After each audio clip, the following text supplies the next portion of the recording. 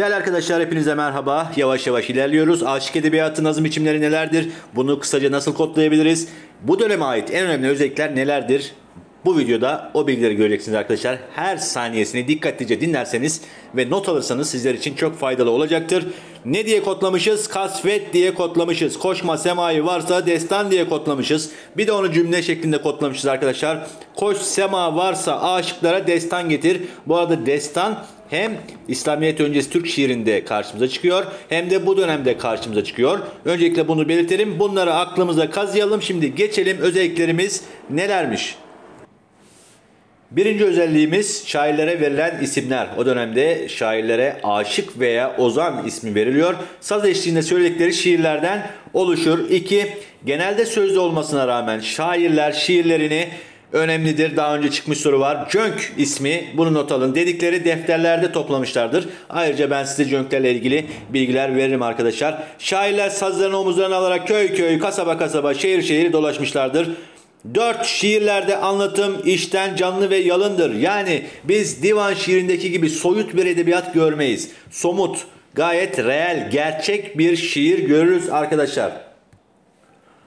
Dil olarak henüz sade bir dilin etkisi var. Şairler halkın içinden çıktığından halk dilini kullanmışlardır ama daha sonra divan edebiyatında e, divan edebiyatının etkisiyle biz yavaş yavaş dilin ağırladığını ilerleyen dönemlerde göreceğiz. Nazım birimimiz dörtlüktür. Koşma semai destan varsa dedik zaten nazım şekilleri kullanılır. Hece ölçüsünün en çok 7, 8 ve 11'li kalıplarına ağırlık verilmiştir. En çok işlenen konular. Başta aşk olmak üzere. Tabiat, gurbet, ayrılık, ölüm, özlem, kıskançlık. Bunlar en çok işlenmiştir arkadaşlar. 11 şiirlerin son dörtlüğünde şairin adı veya mahlası geçer. Önemli yani şairler tapşırır. Hapşırmaktan aklımıza gelsin. Şairin isminin geçmesidir. Bu tapşırma geleneğini unutmayalım arkadaşlar. Tapşırma. Daha sonra e, divan şiirinde biz buna ne diyeceğiz? Mahlas diyeceğiz. 12. Göz kafiyesi anlayışı yerine kulak kafiyesine ağırlık verilmiştir. Daha sonra Tanzimat döneminde biz kafiye kulak içindir, göz içindir tartışması, tartışması yaşayacağız. Yani kafiye için aynı sesin kullanılmasına gerek yoktur. Ee, onlara göre P, B, Ç, Ş, T, D yani o seslerin çıkış noktası önemlidir. Genellikle yarım uyak en çok kullanılan uyaktır. Bunun yanında cınaslı kafiyede yine çok kullanılır. Tabi reel şiirler dedik ama e, divan şiirlerindeki kadar çok yoğun bir söz sanatı olmasa da yine bu şiirlerimizde benzetme yani teşbih, kişileştirme, teşhis dışında edebi sanatlara fazla yer verilmemiştir ama bu ikisi karşımıza çıkar. Sevgiliyi herhangi bir şeye benzetebilirler. Bazı ürünlerde yöresel özellikler görülür. Şiirler genellikle hazırlık olmaksızın burası önemli. Hiçbir hazırlık olmadan yani doğaçlama olarak söylenir.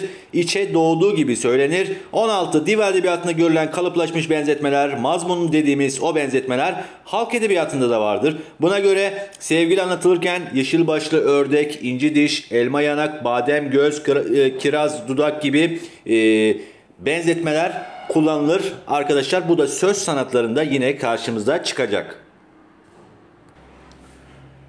Divan edebiyatı daha çok düşünceye önem verdiği için soyuttur.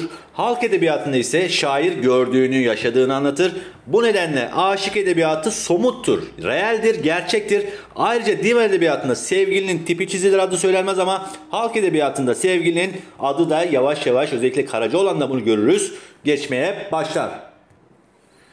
Yine tek tek bu nazım biçimlerini anlatırken göreceğiz. Şiirler işlenen konularına göre koçaklama, yiğitlik konulu, güzelleme, taşlama, ağıt gibi isimler alabilir. Ve son maddemiz, son özelliğimiz aşk edebiyatı hayali olaylardan çok gerçekliğin ön plana çıktığı edebiyattır. Bunu ısrarla vurguladık. Soru köklerinde sizlere bu özelliklerle ilgili hangisi yanlıştır, hangisi doğrudur tarzında sorular gelebilir. Bundan sonrası için lütfen kanalıma abone olmayı unutmayın arkadaşlar. Hepinize başarılar diliyorum. Hoşçakalın.